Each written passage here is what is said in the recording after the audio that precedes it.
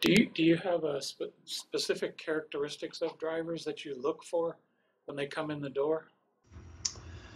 Well, you know, that's a great question. We we hire drivers of varying uh, experience backgrounds.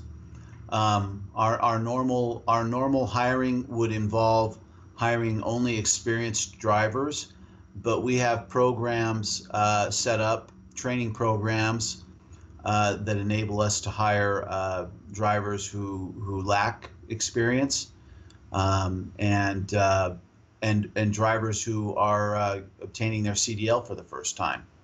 So experience for us uh, is not the most important factor. Skill and proficiency are.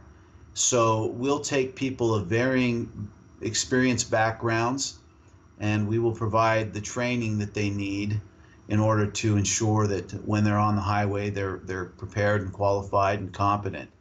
Um, so we have all uh, uh, we have uh, all kinds of solutions uh, to uh, to help drivers uh, obtain and and become proficient in in driving the equipment.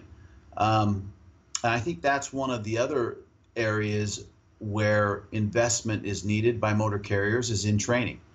Um, we you've seen it with the entry level driver training rule which which is good in that it's it's proficiency based. Um, we agree that it should be proficiency based. Uh, we also provide behind the wheel and classroom defensive driving training.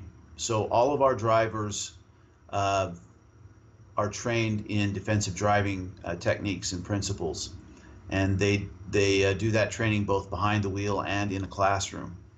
Um, so we think uh, that is an important facet of of our safety program. When we started doing defensive driving training uh, in 2007, uh, within two years we had seen uh, close to a 50% reduction in DOT recordable accidents.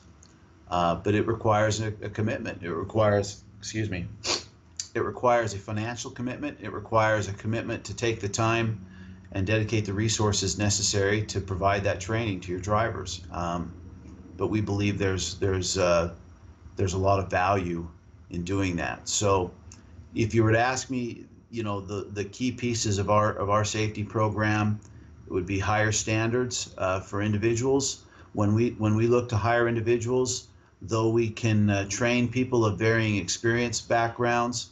Um, we are pretty uh, stringent when it comes to personal characteristics and character. Um, those those things are very hard to train, so we look for those in in all of our employees.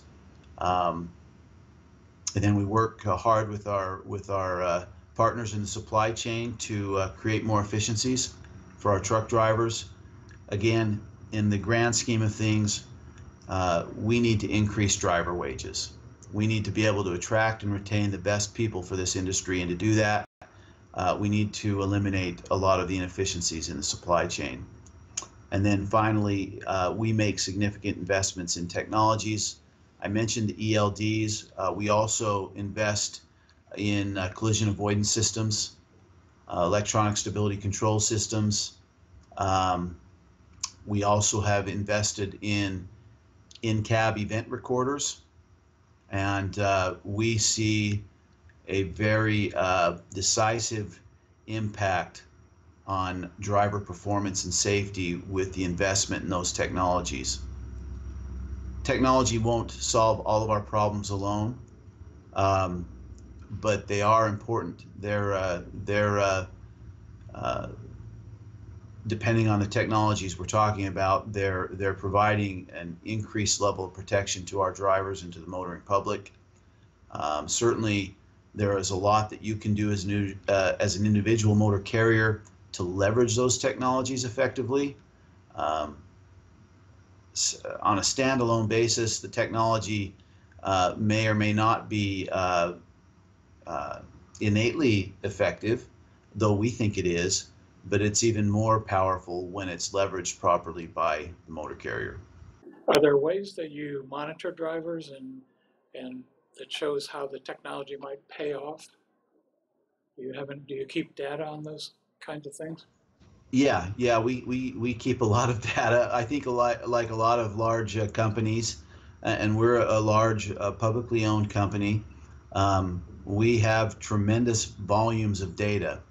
Um, part of the challenge is is learning how to use that data effectively, uh, and we're certainly getting better at that as a as a company. And I think as an industry, we're getting, excuse me, we're getting better at using data. Uh, but we what we try to do with our technology is to get inside the cab and to see how our drivers are performing and to base our success not on whether or not there is a collision but on how well the driver fundamentally operates the equipment from a safety standpoint and we use the data to help us establish uh, what the driver is doing behind the wheel and to provide the driver the kind of feedback that they need as individuals to improve their skills. And um, you know that requires an investment in technologies. We we started last year uh, installing in-cab event recorders in our in our equipment. Um, we've been pretty vocal about that in in, our industry, and um, we see a pronounced improvement among the fleets who have installed uh, those event recorders versus the uninstalled portion of the fleet. Um, I attribute that to uh, the fact that we are really providing the driver uh, very prescriptive, real time information to help them improve their driving skills. Now, again, uh, if, if the motor carrier is not disciplined about using that information, and is unwilling to uh, to hold individuals accountable for the things they should be responsible for, um, it may not have much value. Um, but you've got to make that investment in technology first and foremost before you can leverage it. And uh, how you leverage it is really what distinguishes one motor carrier from another.